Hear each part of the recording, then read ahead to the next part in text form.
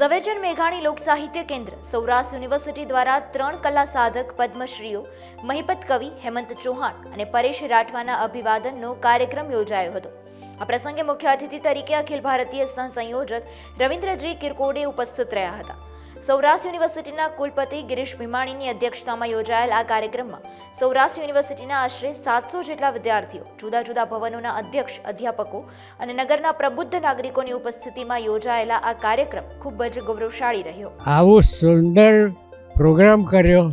આટલી બધી વિવિધતાઓ વિષયની એમ ચર્ચા આવી અને લોકોને કંઈક નવું જાણવા મળ્યું એ માટે ખરેખર આ યુનિવર્સિટીની બ્રાન્ચ જે હોય એ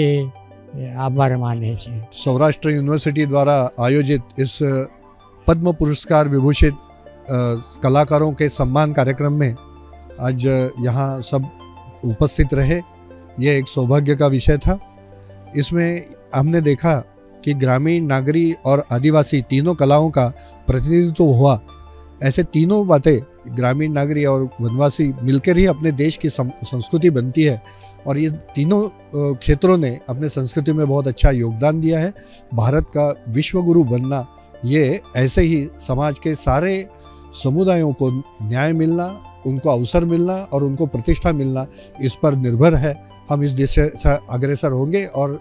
सारे समुदायों का प्रतिनिधित्व होगा। सहभाग होगा और भारत विश्व गुरु बनेगा ऐसा विश्वास लगता है નમસ્તે હું છું આપનો હેમંત ચૌહાણ અબ તક ચેનલના માધ્યમથી આજે આપને જણાવું છું કે સૌરાષ્ટ્ર યુનિવર્સિટી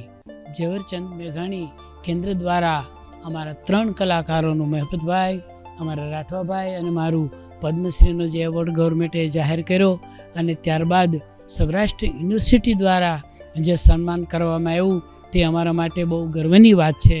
કારણ કે આ સૌરાષ્ટ્ર યુનિવર્સિટીમાં હું ભણેલો ખરો અને એ જ યુનિવર્સિટીમાં અમારું જે સન્માન થયું તે બદલ સૌરાષ્ટ્ર યુનિવર્સિટીનો ખૂબ ખૂબ આભાર. જી, આજે એક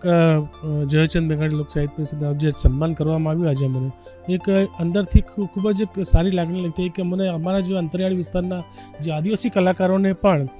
સૌરાષ્ટ્ર યુનિવર્સિટીએ જે મને નિહાળીને સન્માન કર્યું છે, ખરેખર અમારા આદિવાસી સમાજ માટેની ગૌરવની લાગણી અનુભવું છું. અને ખરેખર આ- આ- આવા જે નાના નાના કલાકારોને હવે પછી પણ અ, બહાર લાવીને ઉજાગર કરે તેવી આશા છે અને હું ભારત સરકારનો પણ સાથે સાથે આભાર માનું છું હા યુવાનોને હું એટલું જ કહીશ કે આપણી જે ભારતની લોક કલા અને સ- સંસ્કૃતિઓ જે છે આજે ધીરે ધીરે લુપ્ત થતી ગઈ છે એમાં પણ તમે નજર નાખો અને આપણી ભારતની લોક કલા અને સ- સંસ્કૃતિને આપ જીવંત રાખવાના પ્રયાસ કરો જેથી કરીને આપણું જે ભારતનું જે નામ છે વિશ્વની અંદર કલા અને સંસ્કૃતિ પ્રત્યે એ ઉજાગર રહે